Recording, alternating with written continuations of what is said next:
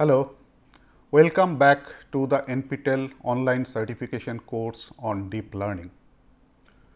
So, for last uh, few lectures, we are discussing about the optimization procedures of gradient search uh, technique.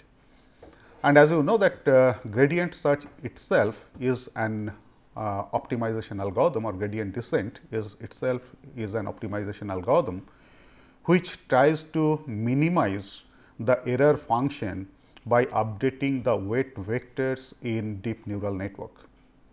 But uh, this gradient descent algorithm faces uh, a kind of challenges like a vanishing gradient problem, then uh, slow learning rate.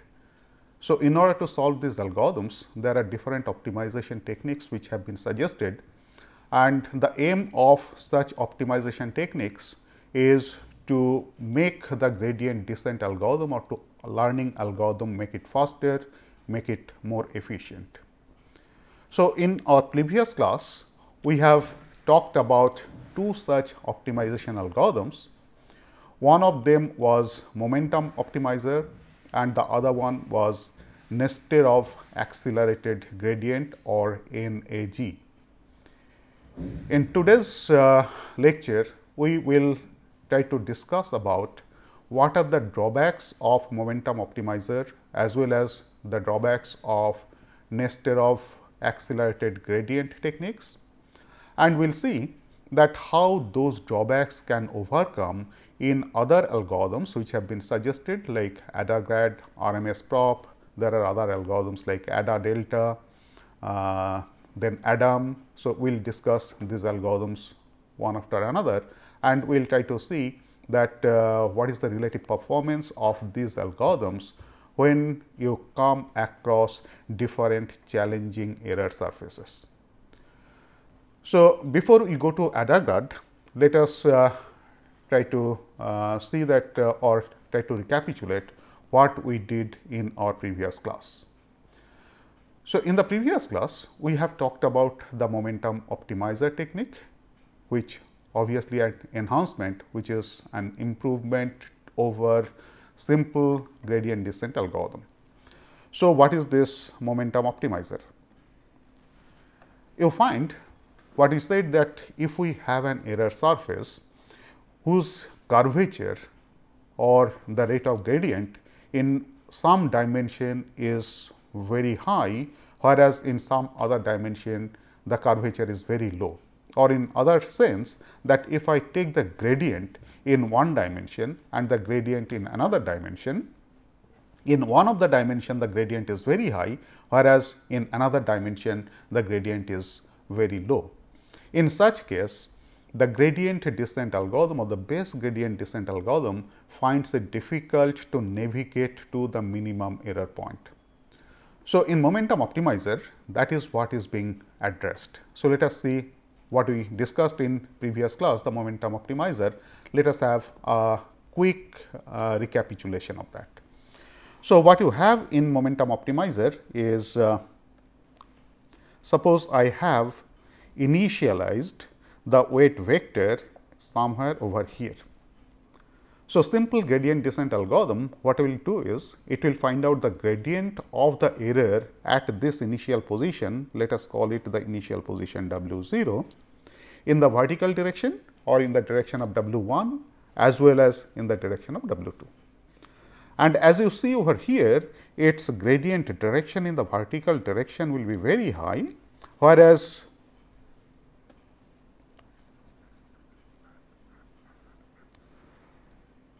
So, you find that the gradient direction in the vertical direction will be very high, whereas the gradient direction in the horizontal direction will be very low. As a result, what will happen is the gradient descent algorithm will try to adjust or will try to update the weight vector in such a way that the weight vector moves in this direction. Whereas, you find that the minimum error is somewhere over here. So, we are going uh, we are not moving in the right direction to minimize the error. In the same manner, in the next iteration, the weight vector will be moving in this direction, then the weight vector will be moving in this direction, then the weight vector will be moving in this direction and so on. So, as a result that you are find, a, find a, you find that you are oscillating around the right path which should have been followed, because over here it would have been correct to move in this direction not to oscillate like this. So, this is where the momentum comes to uh, the rescue. So, in case of momentum what you do is you again find out the gradient at this location. So, this is my position w 0 at time 0 and suppose at time w 1 uh, the weight vector has come somewhere over here. So, this was the movement at time w t minus 1 suppose the weight vector has come here, somewhere over here. So, this is what I have w t minus 1 and while coming over here the previous shift or the previous update was in this direction. So, what momentum does is now momentum computes two terms one is its movement or update due to the momentum because of the previous movement and the gradient at location w t minus 1. So, if you do that you find that the momentum as before will be somewhere over here. Suppose the previous upgrade value was v t minus 1. So, under the influence of this momentum, now this update direction will be say gamma v t minus 1 that is what is the gradient component. And coming to uh, this is what is the momentum component and coming to the gradient component the gradient will be somewhere in this direction.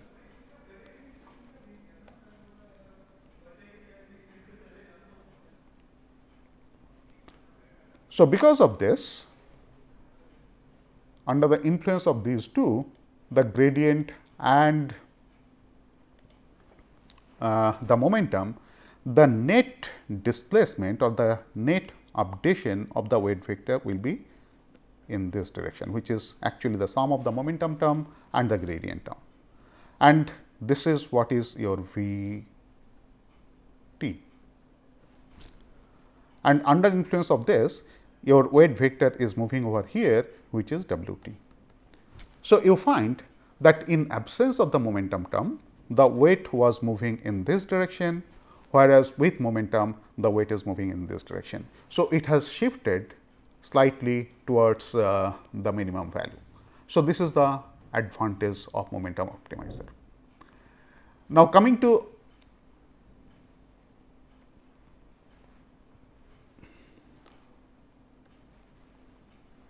So, under the influence of this, if I simply have the stochastic gradient descent uh, optimization algorithm, a pure stochastic gradient descent gives you the updates which is as given over here, whereas if I have the stochastic gradient with momentum, the update moves will be something like this.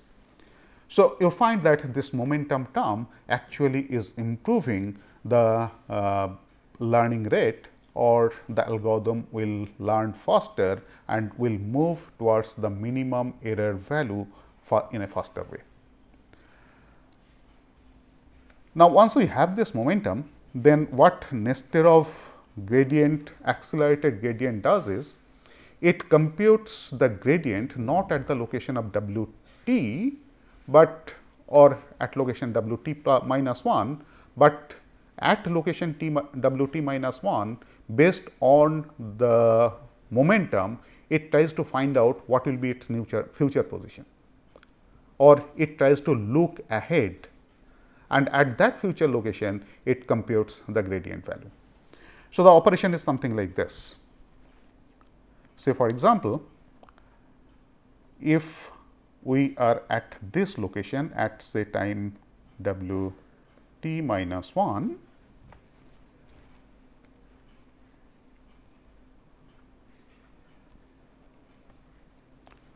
say at time w t minus 1, this was the position of the weight vector and to come to this position it had made the previous update as v t minus 1. So, under the influence of momentum now the movement or the future position which can be computed is say somewhere over here.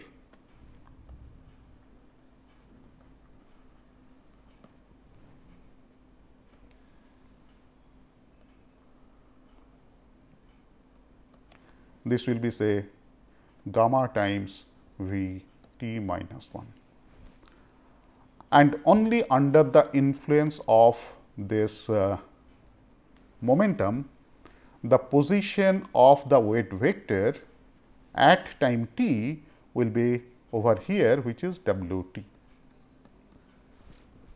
So, if I simply use the momentum with gradient, uh, uh, gradient descent with momentum, what will be computed is the gradient term will be computed over here and the sum of these two would have been the update in the weight vector.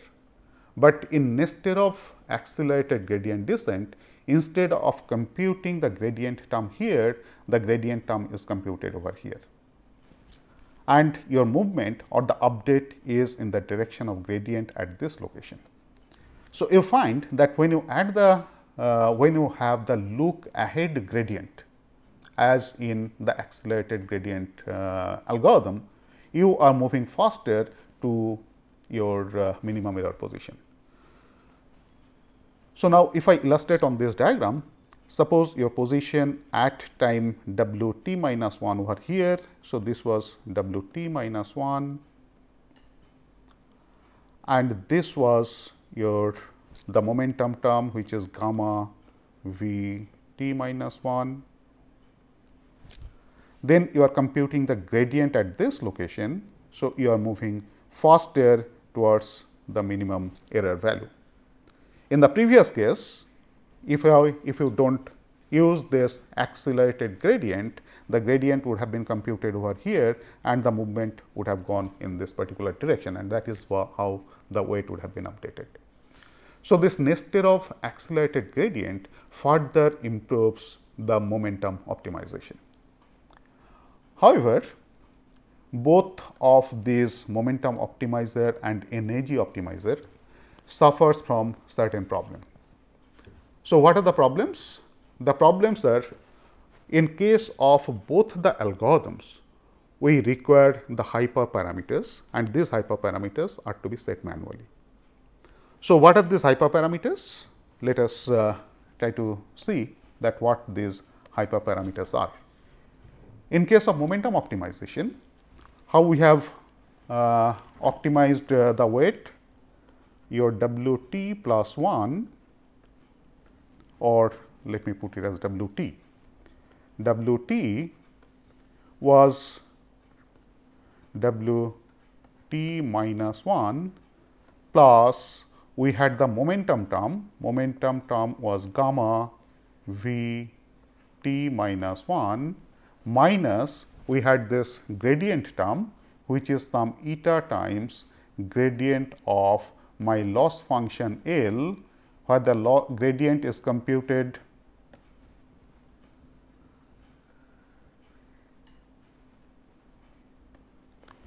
with respect to weight w and it is computed at location at w t minus 1. So, I have two hyperparameters one is this gamma and the other one is eta. So, these two hyperparameters are to be set, set manually in case of momentum optimizer. And what do you get in case of Nesterov gradient descent? In case of Nesterov gradient descent, the W t minus or W t gets W t minus 1 plus we have the same momentum term gamma times v t minus 1 minus now take the gradient, but the gradient not at location w t minus 1, but you are taking gradient at w t minus 1 plus gamma times v t minus 1 and I have the rate of convergence which is eta. So, here again I have these two hyperparameters which are to be set manually. So, this is one of the drawbacks of uh, both the momentum uh, optimizer as well as Nesterov accelerated gradient uh, algorithm.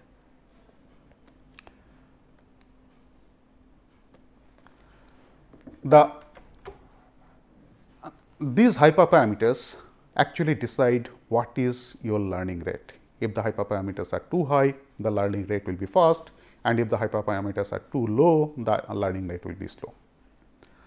Uh, and it is the same learning rate both in case of momentum as well as in case of Nesterov accelerated gradient, it is the same learning rate which is used in all the dimensions.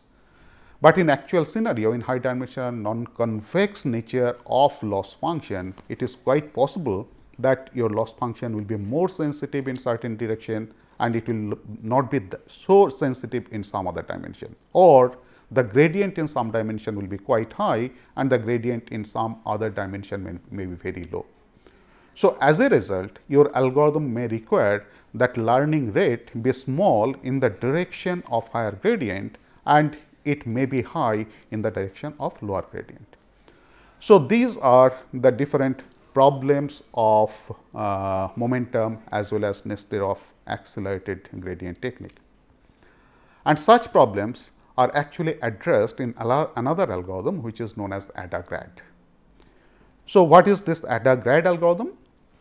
The ADA-GRAD algorithm, it tries to adaptively scale the learning rate in different dimensions.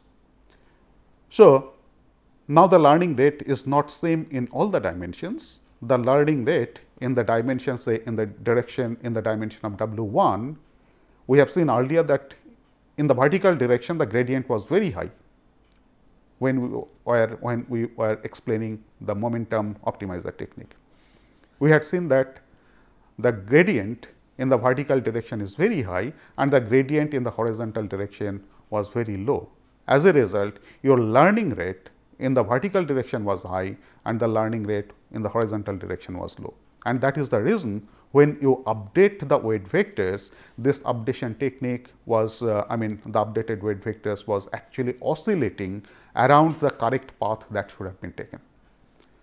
So, in case of ADA-GRAD, it can adaptively the uh, adaptively tune the learning rate in different directions. So, in the vertical direction it will try to reduce the learning rate whereas in the horizontal uh, in the horizontal direction it will try to enhance the learning rate. And uh, the scale parameter or the scale factor to scale the learning rates in different dimensions, they are actually proportional to the square root of sum of historical squared values of the gradient. We will come to see come, uh, come to this when we explain this algorithm with the help of what are the mathematical equations that we have. And as a result, the parameters which have the largest partial derivative, because it is being scaled with the sum of squares of historical gradient values. So, the parameters that have very large partial derivatives of the loss function along those directions the learning rate will decrease rapidly and the parameters with small partial derivatives along those directions the learning rate uh, uh, will uh, uh, the rate of decrease of learning rate will be very small. So, that is how adaptively the ADA-GRAD algorithm can scale the learning rate in different dimensions. So, let us see what this ADA-GRAD algorithm is. So, again in ADA-GRAD algorithm, you have to compute the gradient at location W t, where x is your input vector. And because we are talking about the batch gradient descent uh, algorithm, we are trying to improvise upon batch gradient descent algorithm. So, whatever we are computing all these computations we are with respect to the batch of training samples that you have. So, if I have say n number of samples in a mini batch used for training the neural network, the deep neural network, the gradient at time instant t when my weight vector is at w t. So, I have to compute what is the loss and I have to take the gradient of this loss with respect to weight vector and this gradient has to be computed over all the training samples in the mini batch and you have to take the average of those gradients which are computed over all the training samples with respect to the weight at time w t. Okay. So, this is the gradient you are computing and this gradient is GT where as I said that GT is computed over the mini batch at time instant t or with weight vectors as WT.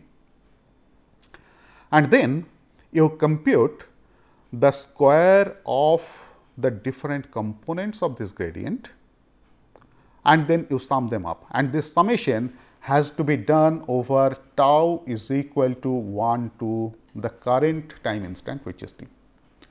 This particular computation, so g tau is indicates for the variable t, the subscript t has been replaced by tau indicating that it is my index over which the summation has to be computed.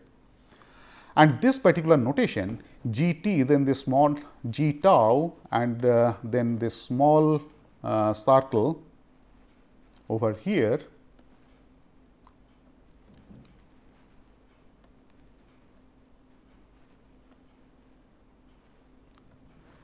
This small circle indicates the component wise multiplication. Or in other words what I mean by that is uh, so if I have two vectors A and vector B where vector A has components say A1, A2 up to say AD these are the components and vector B also has components say B1, B2 up to say B d where d is the dimensionality of the vectors, then this operation component wise multiplication it is nothing but a 1 b 1 a 2 b 2 a d b d. So, this is what this notation indicates. So, given this now let us go back. So, this R t it actually accumulates the sum of the squares of component wise uh, um, uh, multiplications of the products and it is accumulated over time starting from t equal to 0 to t equal to t. And when you are updating the weight vector, your updation equation is w t plus 1 is equal to w t minus eta times g t upon epsilon i plus r t. So, this i is a vector where all the components of the vector is equal to 1 and this r t is the vector which is given by this. So, again when I am showing this particular expression that square root of sigma uh, square root of epsilon i plus r t, this actually means square root of epsilon plus r 1 for t equal to 1 it means square root of epsilon plus r 2 and so on. So, going by this your actual updation when I expand this equation the actual updation equation is given by this. So, you find that W 1 is actually being updated uh, W t plus 1 1 is actually updated as W t 1 minus eta by epsilon plus r t 1 square root of that times g t 1. So, it is only the first component of your uh, weight vector which is being updated and the scale fa factor of the learning rate or the first component of the squared sum of the gradients is being scaled by square root of epsilon plus r t 1, okay, where this r t 1 is the sum of squares of the gradients and you take the first component of it. So, your gradient of uh, uh, the gradient of the first component is actually scaled by epsilon plus sum of the squares of the gradients of the first component and you take the square root of this. So, similarly, if I go for updation of the ith component say w t plus 1 i. So, if I write it this way w t plus 1 i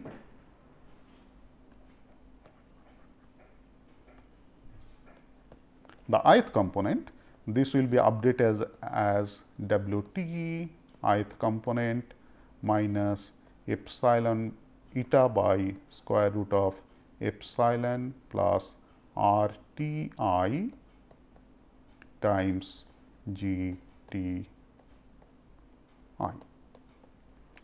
So, you are scaling by epsilon plus r t i where r t i is nothing but sum of squares of the ith component and you are taking the sum starting from the beginning. So, this is actually the cumulative square and that is how you find that every update component, every component, uh, every update component is being scaled by the square root of sum of squares of the corresponding gradient value. And the purpose of epsilon, putting epsilon is, epsilon is a very small positive uh, number, positive quantity. So, this epsilon is put for stability of the division that in case your sum of squares of the gradient values become 0, I do not face a situation of division by 0. So, this is the purpose that you are putting the epsilon. So, this is what is your ADA-GRAD algorithm. So, as we have said before that this ADA-GRAD algorithm has got certain positive points that ADA-GRAD is trying to adaptively scale the learning rate of different dimensions by normalizing with respect to the gradient magnitude in the corresponding dimension or square root of the sum of squares of the gradient values in the corresponding dimension. And uh, the eta that you have put in the expression, this eta is actually the initial uh, learning rate and I do not need to tune it manually. And uh, this makes your learning faster because always the ADA-GRAD is trying to push the updates in the right direction, in the direction of the minimum error value. And as a result, the ADA-GRAD, uh, the ADA-GRAD algorithm converges very rapidly when your error function is actually a convex function. But ADA-GRAD also has certain negative point that is if the function is non-convex, then the trajectory may pass through many complex terrains and eventually it may find uh, a locally convex region. And what we try to do is and what should be our aim is that once you get a locally convex region, the ADA-GRAD algorithm or your uh, learning algorithm should quickly converge at the minimum of that uh, local convex region. But the problem is uh, because in case of ADA-GRAD algorithm, your scale factor is the accumulation of the squares of the gradients and because the square of the gradient is always a positive term. So, as t increases or the number of iterations increases, your scale factor goes on increasing. And because it is goes on it goes on increasing monotonically. So, as t becomes large, your scaling factor that is 1 upon square root of epsilon plus r t that term may be almost 0. It may be very very small and when it becomes very small your training or the learning rate becomes almost 0, it is very small or vanishes.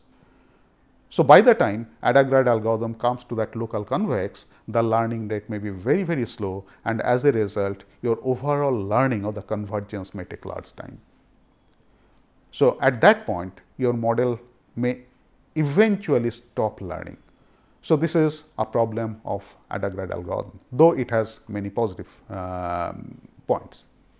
So, in our next lecture, we will try to see other algorithms and we will say we will try to analyze that how the problem being faced by the ADA-GRAD algorithm can be addressed in those algorithms. Thank you.